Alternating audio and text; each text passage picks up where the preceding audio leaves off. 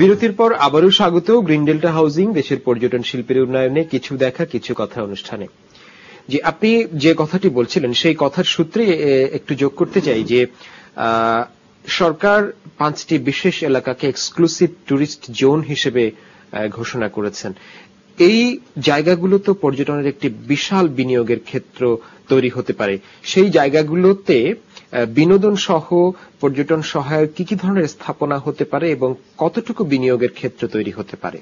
আমরা এই ধরনের ক্ষেত্রে কিন্তু এক্সক্লুসিভ ট্যুরিস্ট জোন যখন বলি, তখন কিন্তু আমরা চিন্তাটা আমাদের একটু ভিন্ন রকম হয়। যেমন, এমনি সাধারণ একজন বিনিয়োগকারী, সে যদি একটা অ্যাপার্টমেন্ট করে সে একটা একতলা বিল্ডিং করে দুটো রুম করে যদি মনে করে সে ইউজ করবে। এটা কিন্তু সে ইউজ করতে পারে।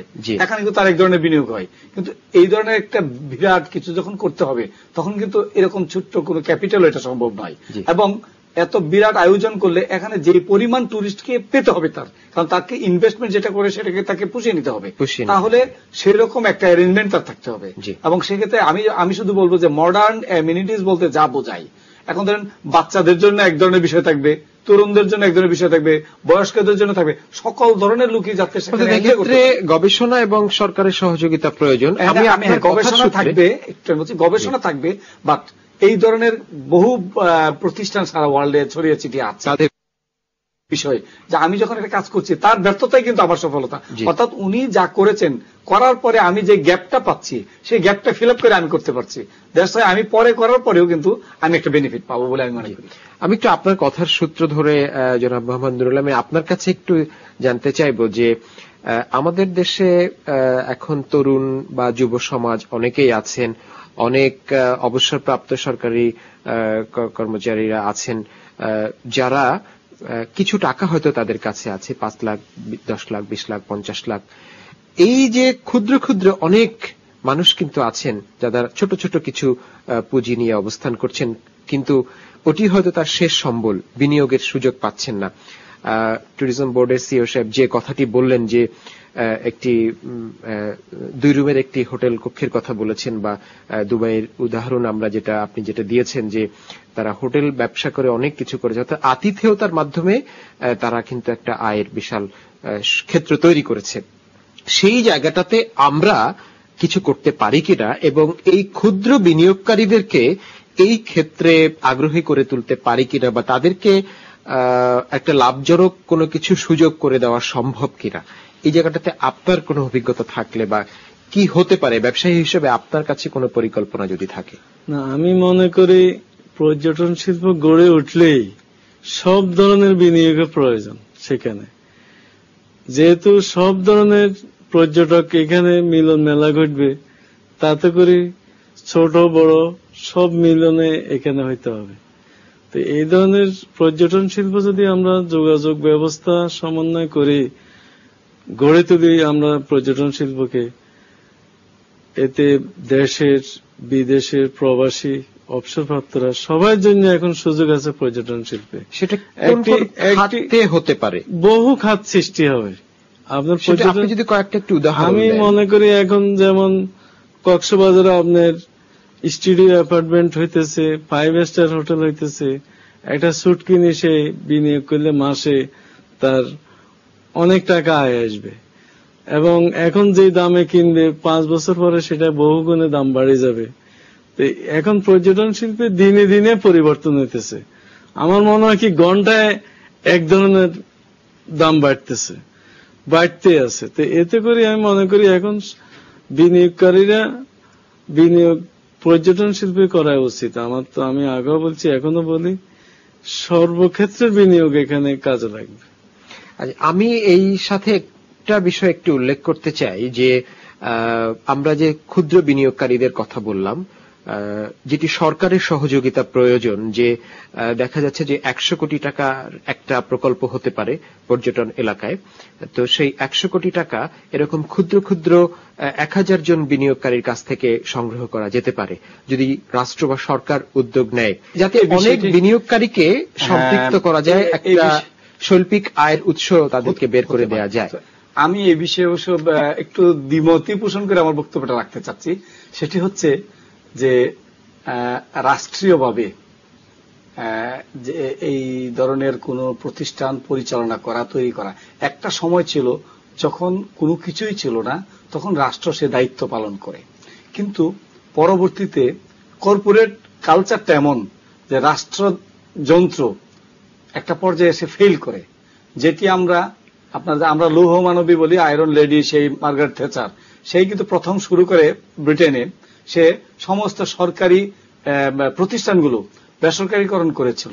করার একটি বড় কারণ ছিল যে কত মানে কত বেশি ইউটিলাইজ করা যায় সম্পদকে।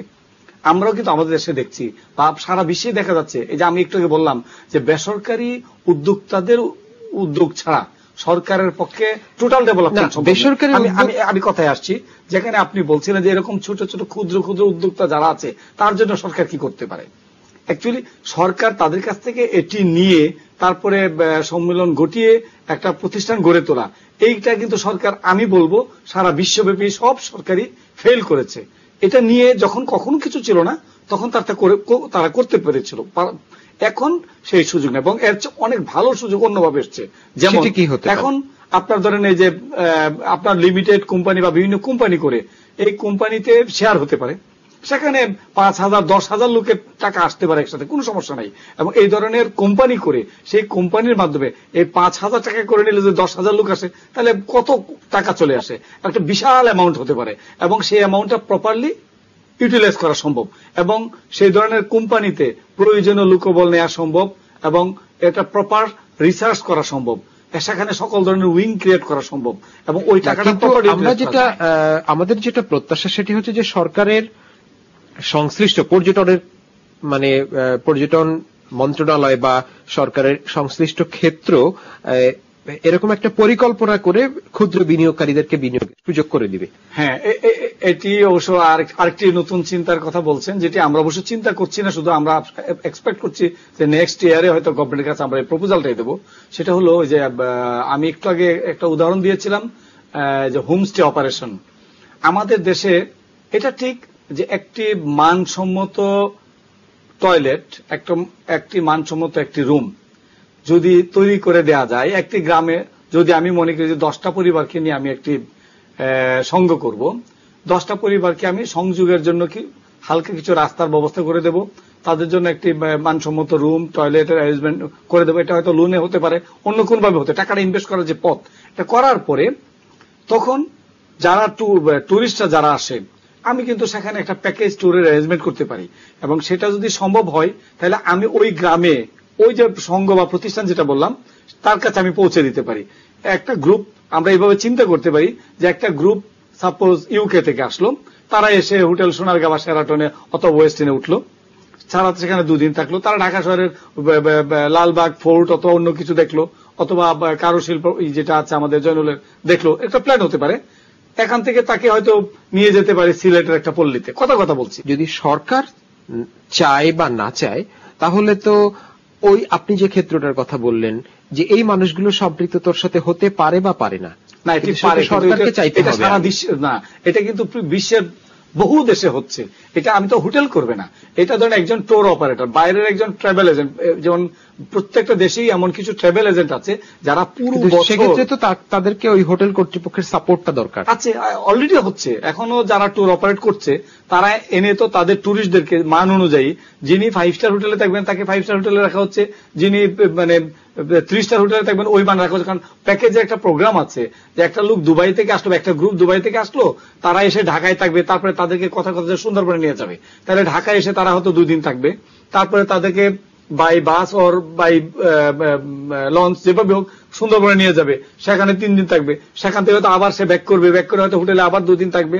তারপরে হয়তো সে বাই আর চলে যাবে। এই যে প্যাকেজ এই ক্ষেত্রটাতে একটা কর্মসংস্থানের সুযোগ হয়েছে বা আয়ের একটা অ্যাকচুয়ালি নিজস্ব ভাবে সারা পৃথিবীতে একটু আগে আপনিও বলেছেন আজকের আমেরিকা যে মন্দাভাবে পড়েছিল গত দু বছরে যে রেসেশন গেল যদি এই সেক্টর ডেভেলপ না করত তা আমার ধারণা যে আমি ইকোনমিক্স এর ছাত্র হিসেবে আমি যেটুকু বুঝি যে এটা আপনার নাইনটিন থার্টি সিক্স যে গ্রেট ডিপ্রেশন সেই পর্যায়ে চলে যেত। আচ্ছা। এই সার্ভিস সেক্টর এত মানে ব্যাপক এখানে ট্যুরিজমের চেয়ে বড় আর সার্ভিস সেক্টর হতে পারে না। যে আপনারা স্টুডিওতে এসেছেন মূল্যবান মতামত রেখেছেন আপনাদেরকে অনেক অনেক ধন্যবাদ জানাচ্ছি। ধন্যবাদ দর্শক পর্যটন ক্ষেত্রকে নিছক আয়ের জন্য বিনিয়োগ ক্ষেত্র হিসেবে না ভেবে এর সাথে সম্পৃক্ত হয়ে নিজেকে ভাবা যেতে পারে দেশের পর্যটন শিল্পের একজন গর্বিত পৃষ্ঠপোষক হিসেবে। তার আগে আজকের অতিথিবৃন্দ পর্যটন খাতে বিনিয়োগের বা কাজ করার ক্ষেত্রে যে সম্ভাবনার কথা বললেন, আশা করি সরকারের বিবেচনায় তার অনেক কিছুই রয়েছে। সুতরাং সেদিক থেকেও আমাদের বেকার যুব সমাজ সার্বিক সহায়তা পাবে, এ প্রত্যাশায় শেষ করছি আজকের গ্রিন ডেল্টা হাউজিং, দেশের পর্যটন শিল্পের উন্নয়নে কিছু দেখা, কিছু কথা অনুষ্ঠান। দর্শক, এর সাথে জানিয়ে রাখি, আমাদের এই অনুষ্ঠানটি পুনঃপ্রচারিত হবে আগামীকাল রাত দুটো পঁয়ত্রিশ মিনিটে। দেখার আমন্ত্রণ রইল। ভালো থাকবেন সবাই। শুভরাত্রি।